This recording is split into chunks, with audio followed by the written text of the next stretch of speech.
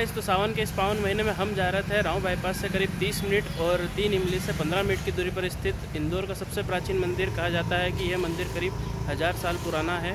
तो आइए चलते हैं, कर लेते हैं दर्शन।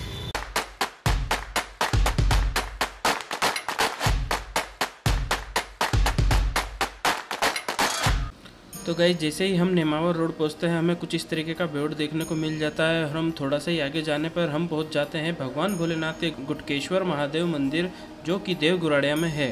यह मंदिर इंदौर के प्राचीन मंदिरों में से एक है। शोधकर्ताओं द्वारा माना जाता है कि यह सातवीं शताब्दी से भी पहले बनाया गया था। मतलब रामायण काल के भी पहले यह मंदिर स्थापित किया गया है और इस मंदिर को गरुड़ तीर्थ भी कहा जाता है। तो दोस्तों, जैसे ही हम अंदर की तरफ़ जाते हैं तो हमें मंदिर प्रांगण का एक भव्य स्वरूप देखने को मिलता है और आप यहाँ देख सकते हैं कि यहाँ पर चार कुंड बने हुए हैं और ये चारों कुंड आपस में एक दूसरे से कनेक्टेड है। जिस कारण से यहाँ जो पानी का स्तर है, वो चारों कुंडों में बिल्कुल समान रहता है। और अगर आप देखेंगे तो यहाँ चारों कुंडों के बीच में आपको एक मंदिर देखने को मिलता है। यहाँ पर एक मंदिर बना हुआ है जहाँ पर भोलेनाथ की शिवलिंग विराजमान है।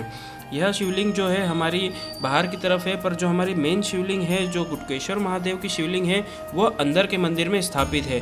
आप यहाँ देखेंगे तो यहाँ पर माँ पार्वती गणेश जी और कार्तिक जी की भी मूर्ति आपको देखने को मिल जाती है। तो आइए फिर चलते हैं हम आगे की ओर और, और कर लेते हैं भगवान भोलेनाथ हमारे गुटकेश्वर महादेव के दर्शन। तो यहाँ सबसे पहले आपको इस तरीके से यहाँ गेट देखने को मिल जाता है और गेट काफ़ी बड़ा है और काफ़ी भव्य गेट बना हुआ है यहाँ पर। अगर आप देखेंगे तो गेट के एक और आपको बजरंग बली जी विराजमान दिखेंगे और गेट की दूसरी ओर आप देखेंगे तो गणेश जी विराजमान है यहाँ पर। और यहाँ बीच में आप देखेंगे तो नंदी महाराज बैठे हुए हैं, काफ़ी ज़्यादा सुंदर नज़ारा है यहाँ का और साथ ही में यहाँ पे सामने की साइड आपको देखने को मिल जाता है, कुंड बना हुआ है। यह कुंड जो है वो प्राकृतिक पानी से ही भरा जाता है मतलब मैनुअली कोई नहीं भरता यहाँ पर। ये पहाड़ों से या बारिश के पानी से ही भरता है है और इसके अलावा कोई अन्य जल स्त्रोत यहाँ पर नहीं है जिससे ये भरे। और तो आइए अब हम चलते हैं अंदर की ओर कर लेते हैं बाबा गुटकेश्वर महादेव के दर्शन।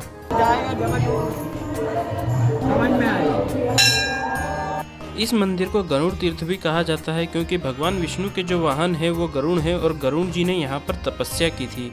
और इस तपस्या से खुश होकर भगवान भोलेनाथ ने उनको दर्शन दिए थे और दर्शन के बाद वह वहीं पिंडी रूप में स्थापित हुए थे। इसलिए इसे गरुड़ तीर्थ भी कहा जाता है। जैसे ही हम मंदिर के अंदर पहुँचते हैं तो काफ़ी ज़्यादा भीड़ देखने को मिलती है, काफ़ी ज़्यादा श्रद्धालु हम देखने को मिलते हैं हमें, और साथ ही में हम कर लेते हैं फिर भगवान भोलेनाथ के दर्शन।